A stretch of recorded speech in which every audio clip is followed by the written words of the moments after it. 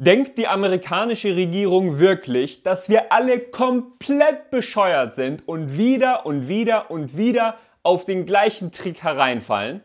Glauben die Amerikaner wirklich, dass sie konstruieren können, was sie wollen, dass sie der Welt vorlügen können, was sie wollen, um in einen Krieg eintreten zu können, sodass das moralisch gerechtfertigt ist? Am gestrigen Donnerstag um 8 Uhr morgens Ortszeit wurden zwei Öltanker im Persischen Golf angegriffen.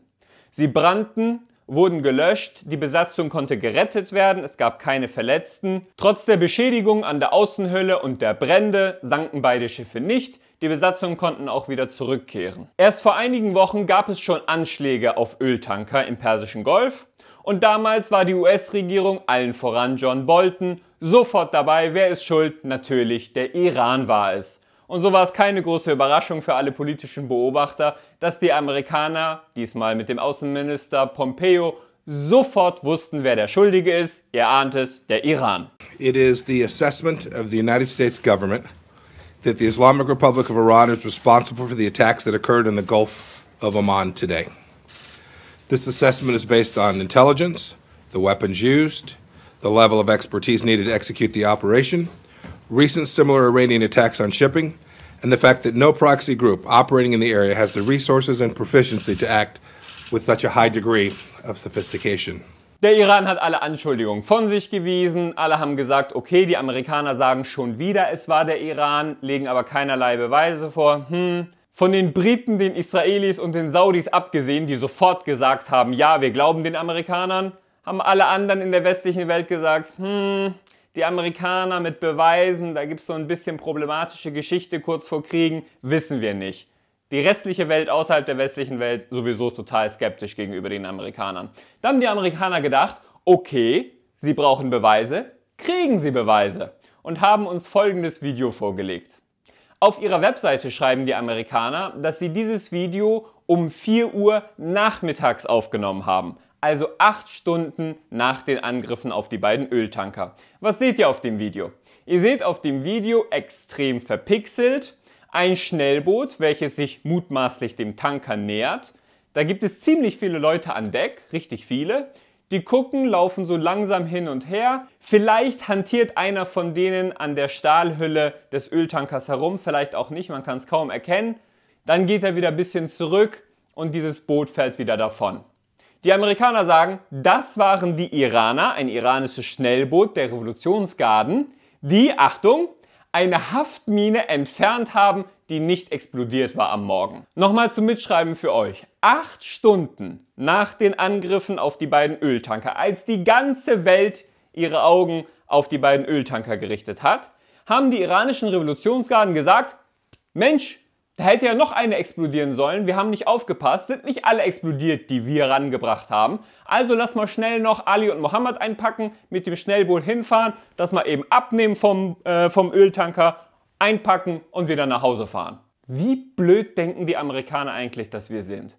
Für wie naiv halten sie inzwischen die Welt? Also zunächst einmal, warum entfernen die Iraner überhaupt eine Haftmine, weil sie nicht explodiert ist? Um Beweise zu vertuschen und dann am helllichten Tag mit einem iranischen Schnellboot dahin zu fahren, während alle darauf schauen? Zweitens, warum war diese angebliche Haftmine oberhalb der Wasserlinie angebracht? Jeder weiß doch, dass eine Haftmine erst unter Wasser ihre volle Wirkung entfacht und die Schäden sind unter Wasser auch viel schwieriger zu reparieren und mit viel größerem Effekt. Oberhalb der Wasserlinie bringt eine Haftmine fast nichts. Und nehmen wir mal an, in dem Video könnte man wirklich erkennen, wie jemand eine Haftmine entfernt. Was man ehrlich gesagt nicht erkennen kann, selbst in einer Großaufnahme nicht. Es handelt sich doch angeblich um eine Mine, die explodieren sollte, die aber nicht explodiert ist. Ist es da ganz normal, dass man da so alle zusammen sich an Deck stellt, lass mal schnell abnehmen, ist ja ganz harmlos, ist ja nur eine Mine, die einen Stahlmantel durchschlagen sollte, lass mal einpacken und wieder wegfahren. Keine Sicherheitsmaßnahmen, keine Vorsicht, Einfach ein bisschen amateurhaft rangegangen und die Mine abgemacht. What? Ganz ehrlich Leute, manchmal denke ich, unsere heutige Zeit ist eine Parodie der Politik früherer Zeiten. Alle erinnern sich natürlich an 2003, an Irak, als der amerikanische Außenminister vor der UNO groß verkündet hat und mit Fotos gezeigt hat, dass Saddam mit Tanklastern und mit LKWs an Massenvernichtungswaffen arbeitet und dass man deswegen einmarschieren muss.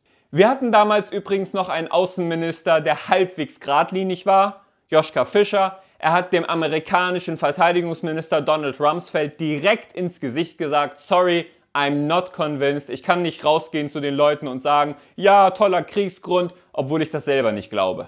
Und obwohl unsere Massenmedien ganz merkwürdig sachlich und ganz ohne jede Bewertung von diesem Vorfall und diesem angeblichen Beweisvideo berichten, was sie normalerweise nicht tun würden, scheint unsere Bevölkerung schon einigermaßen wach zu sein und sich gut zu erinnern. Schaut euch die Kommentare an unter Spiegel Online, sogar unter der Springerpresse bei Welt.de.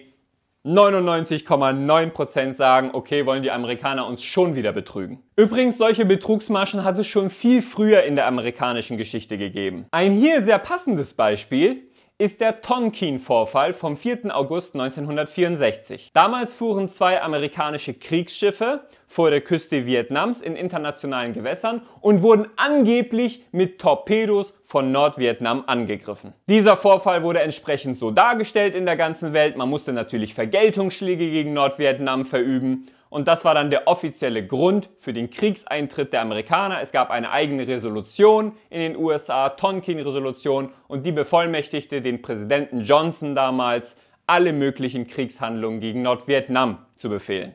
16 Jahre später, 1980, kam dann auch offiziell heraus, diesen Tonkin-Vorfall hat es niemals gegeben. Es gab niemals einen Torpedoangriff auf diese amerikanischen Schiffe. Tja, ups, kann ja mal passieren. Mich interessiert, warum veröffentlichen die Amerikaner ein solches Video mit null Aussagekraft, selbst wenn die Amerikaner nicht als Lügner bekannt wären, was sie inzwischen weltweit sind.